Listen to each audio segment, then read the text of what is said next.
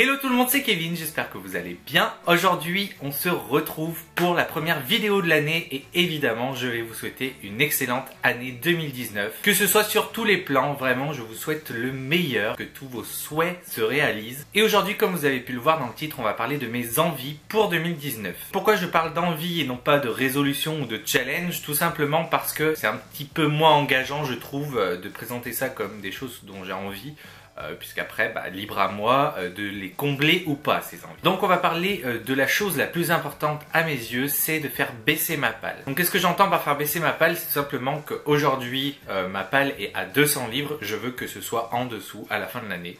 Même si c'est que de 5 livres, déjà, ce sera un premier pas. Pour m'aider, je vais essayer de, de me fixer l'objectif de 3 livres lus, 1 livre acheté. J'ai décidé de pas inclure tout ce qui est suite de saga, parce que je pense au manga notamment, euh, souvent c'est des choses qu'on enchaîne et qui se lisent assez vite. Voilà, l'objectif c'est quand même de faire baisser ma pile à lire, mais de garder une certaine liberté pour garder un peu de plaisir, euh, parce que ça fait toujours plaisir d'acheter des bouquins. Ensuite, une autre envie que j'ai, et ça j'essaye d'y travailler depuis quelques temps, c'est de lire plus vite. Alors quand je dis lire plus vite, je dis pas forcément lire plus, mais ce que j'entends par là, c'est plutôt augmenter le nombre de mots lus par minute. Parce qu'en fait, j'ai un score de merde. J'ai toujours su que je lisais lentement, mais euh, j'ai fait un petit peu des tests. J'ai essayé en me chronométrant, en lisant un certain nombre de mots, etc.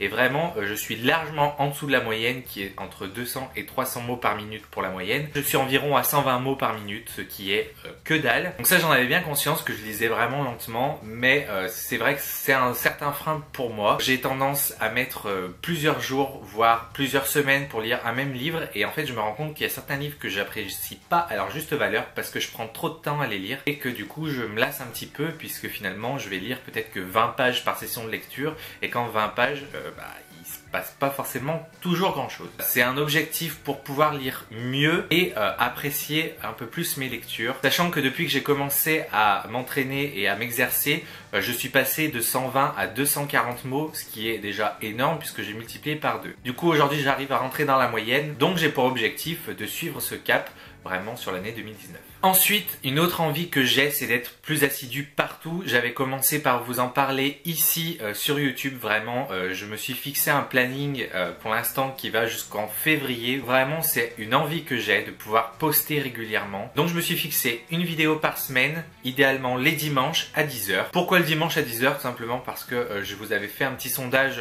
sur Instagram et c'est ce qui était le plus ressorti. Ensuite, je voudrais être plus assidu sur Instagram. Je sais que c'est beaucoup plus compliqué pour moi par contre. Parce que finalement, si on ajoute euh, mon travail, ma vie personnelle, mes lectures, mes vidéos, le montage et tout ça, c'est compliqué de tout gérer. Mais vraiment, j'ai envie de proposer du contenu sur Instagram plus régulièrement. Ensuite sur Facebook, je vais essayer de faire mon maximum pour au moins partager les vidéos que je fais, mais c'est vraiment pas un réseau social qui aujourd'hui me plaît. Euh, vraiment, je suis déconnecté de Facebook, j'y vais très peu souvent. Euh, je fais l'effort de le faire pour vous qui me suivez sur Facebook parce que je sais que vous êtes nombreux à utiliser ce support et que c'est forcément plus simple pour vous que j'aille partager là-bas. Donc j'essaierai de le faire, mais vraiment, euh, ça va être plus difficile pour moi. Et forcément, Twitter, euh, si vous me suivez, j'ai repris très récemment, j'ai très peu tweeté parce qu'il faut que je reprenne cette habitude de raconter ma vie un petit peu tout le temps. Par contre, là-bas, si vous me suivez, à chaque fois que je poste une vidéo, je peux euh, faire faire un tweet automatique sur, euh, sur mon compte, comme ça au moins vous êtes au courant.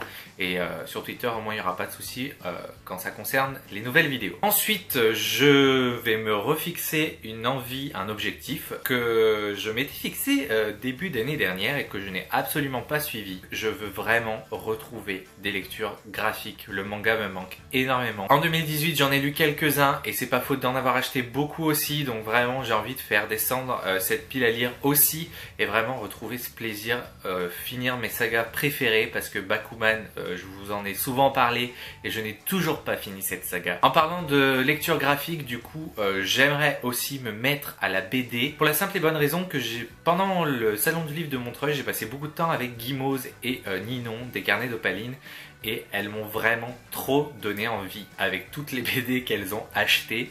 Euh, voilà, donc les filles m'ont vraiment convaincu et j'ai envie de m'y mettre. Et enfin, pour moi, ce sera vraiment le seul défi. C'est pas le challenge Goodreads parce que je n'y arrive jamais. Comme l'année dernière, je vais juste me fixer un chiffre qui est il faut que je lise plus que l'année dernière. J'ai lu 18 romans et il y a euh, un audiobook. En tout, ça fait 19 bouquins, donc il faut que je passe ces 19 bouquins. Donc je me suis un petit peu éloigné du sujet, mais comme je vous disais tout à l'heure, euh, le seul challenge que je me fixe cette année, euh, c'est un challenge qui a été proposé par Cordelia, qui n'a peut-être pas à l'heure actuelle présenté ce challenge, donc je ne vais pas plus vous en dire. De toute façon, je ferai une vidéo dédiée parce que c'est dans le même esprit que le Pumpkin Autumn Challenge ou le Cold Winter Challenge. Bref, euh, voilà, je crois que j'ai fait le tour au niveau de mes envies euh, concernant euh, Booktube et, tout ce qui gravite autour. Et niveau personnel, la seule raison que je résolution pardon que je me suis fixé, c'est de tenir mon bujo, un vrai bujo comme il faut, parce que j'ai déjà essayé plusieurs fois. C'est un outil qui me convient parfaitement parce que j'ai tendance à la procrastination. Et c'est vrai que le bujo m'évite de procrastiner, mais en fait j'ai juste la flemme de m'en occuper et je me dis que si je dépasse cette flemme, ça ira beaucoup mieux donc voilà la seule résolution que je me fixe pour cette année. J'ai envie d'y arriver et je vais y arriver de toute façon. C'en est tout pour cette vidéo. J'espère qu'elle vous a plu, euh, qu'elle vous a intéressé parce que finalement vous en avez peut-être